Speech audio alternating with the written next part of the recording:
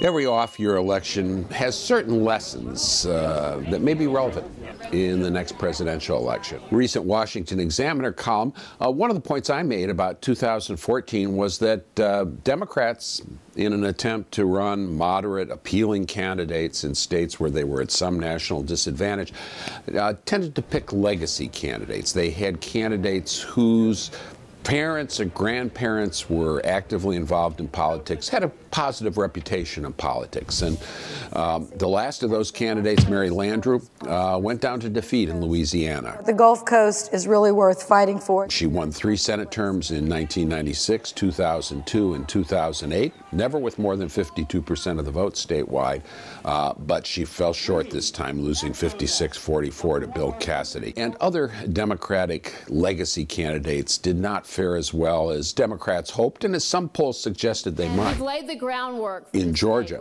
we had uh, Michelle Nunn, the daughter of uh, former Senator Sam Nunn, elected there between 1972 and 1990, his last election.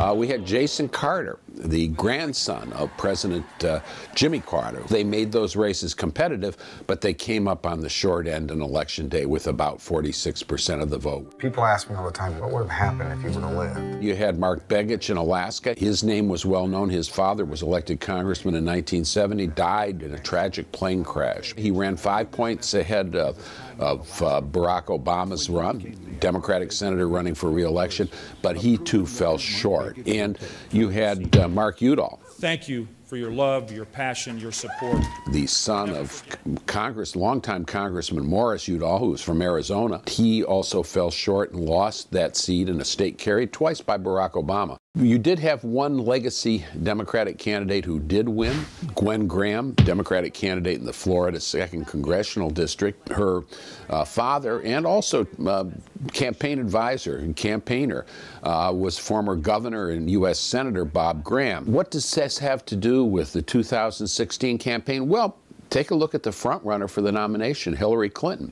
She's obviously got a record of her own as U.S. Senator from New York and was Secretary of State for four years. But one of her great political assets, perhaps the greatest, is her tie to her husband, Bill Clinton, who first ran for public office in, uh, in Arkansas in 1974, was elected State Attorney General in 76 and governor in 78, and who won his last election for re-election as president in 1996. That's a political asset for Clinton, uh, but given the performance of legacy candidates for Democratic Party this time, uh, one has to question whether it's as great an asset as many Democrats hope and as many Republicans fear. 1974, 1996 are starting to sound like a long time ago. And those other Democratic legacy candidates who didn't do so well this year, with the one exception of Gwen Graham, uh, had forebears who political careers began in the 1960s and 70s. Those have some relevance. They tell us something about the character of the candidate that's running today, but they may not be as powerful a political asset as, uh, as Democrats hoped.